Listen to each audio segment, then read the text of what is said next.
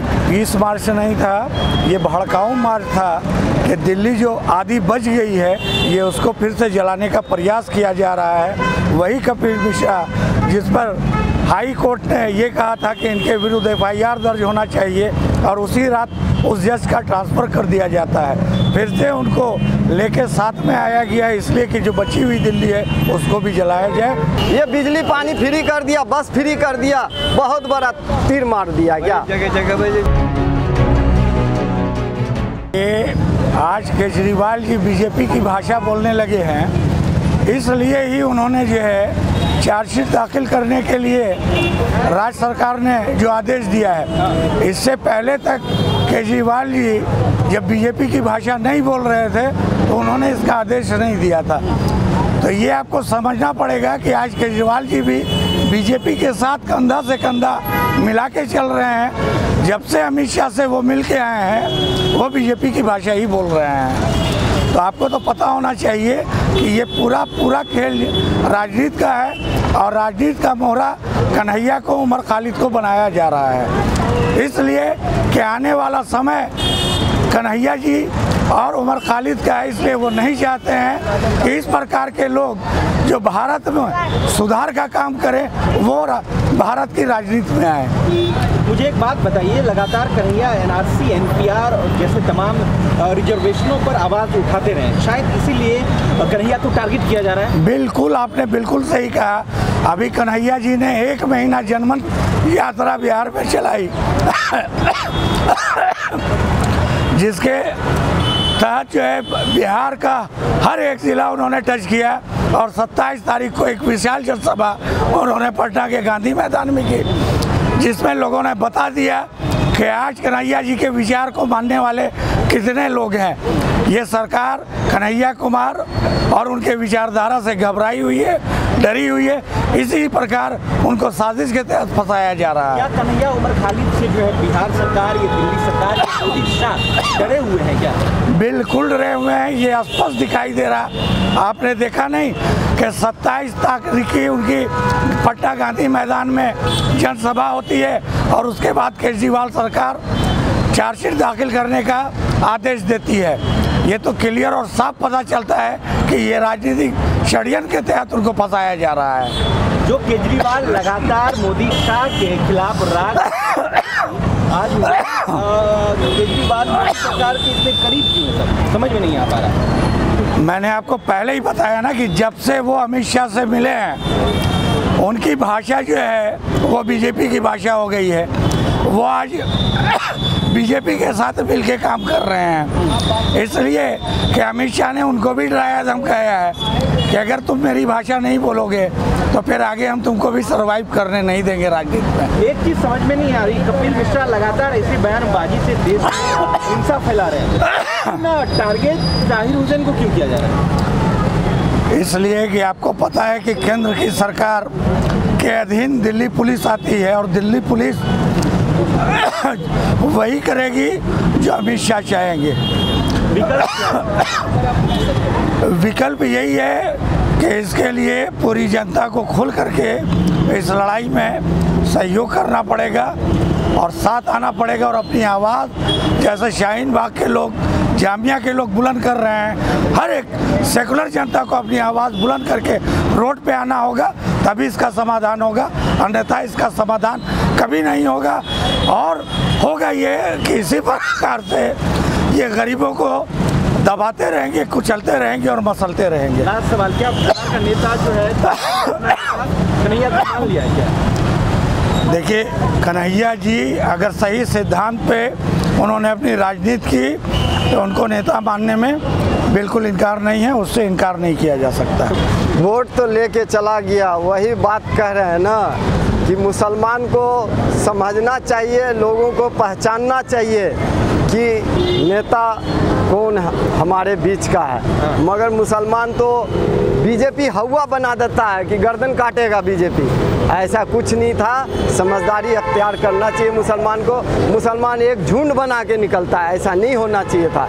समझदारी बहुत बड़ी चीज़ है। केजरीवाल भी वही आरएसएस का बी टीम में से था और है। तो जिस गर्दन कटने से डर रहे थे आप लोग। हाँ। उसी को केजरीवाल ने काट दिया। ताहिर बिल्कुल ताहिर को फंसा दिया टारगेट कर दिया ताहिर को। और ये सब जो है अन्ना हजारे के टीम में रह के जो है समझना चाहिए था। मगर नहीं समझा मुसलमान।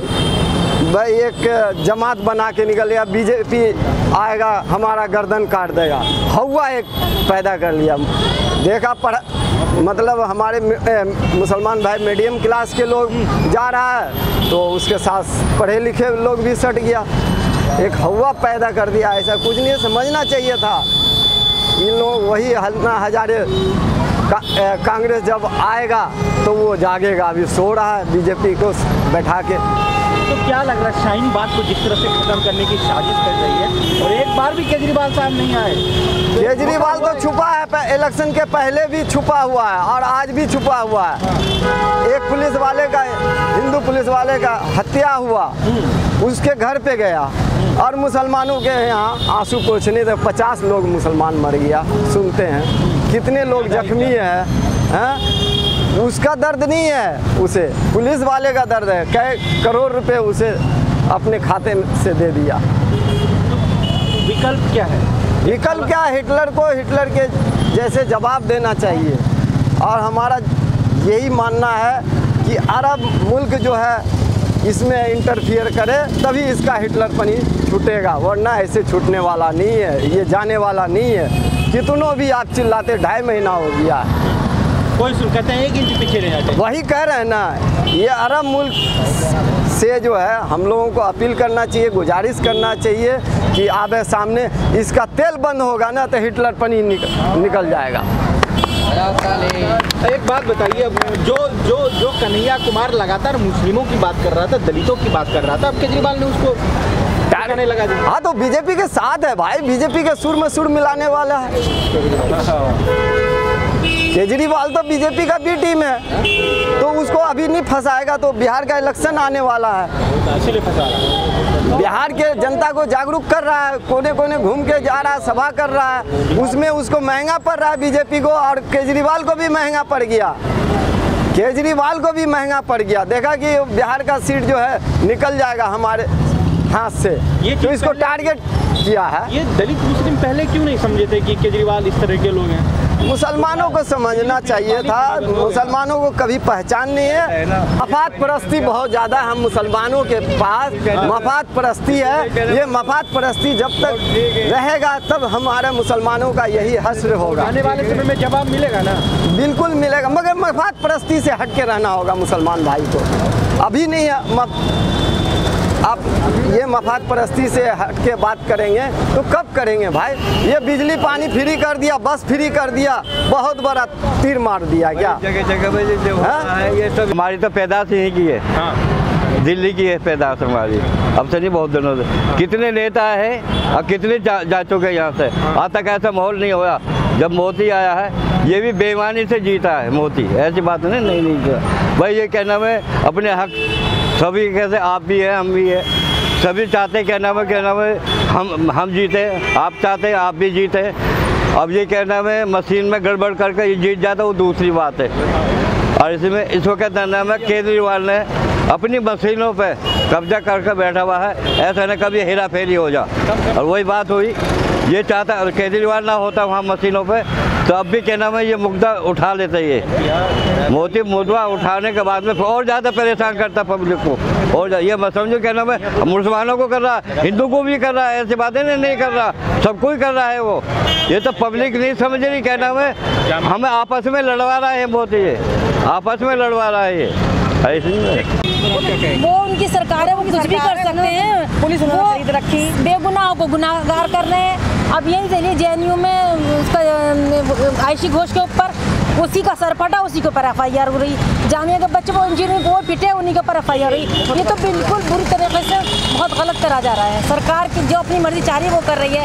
अब जजमेंट दे दिया था उन्होंने रवीन क्या नाम का अभी जो मुरलीधरन ने तो अब उनको ट्रांसफ़र कर दिया जो सच्चाई बोल रहा है उसका ट्रांसफ़र हो रहा है या उसे बोलता है उसे भी कह रहा है उसे भी हटा दो। हर मुसलमान को हिंदू हो सच्चाई बिल्कुल मुसलमान की मायने नहीं है रखती को उसे भी हटा रहा है ये बीस मार्च नहीं था ये भड़काऊ मार्च था कि दिल्ली जो आधी बच गई है ये उसको फिर से जलाने का प्रयास किया जा रहा है। वही कपिल मिश्रा जिस पर हाई कोर्ट ने ये कहा था कि इनके विरुद्ध एफआईआर दर्ज होना चाहिए और उसी रात उस जज का ट्रांसफ़र कर दिया जाता है। फिर से उनको लेके साथ में आया गया है इसलिए कि जो बची हुई दिल्ली है, उसको भी जलाया जाए, उसका प्रयास किया जा रहा है। ये पीस मार्च नहीं है, ये केवल दिखावा है।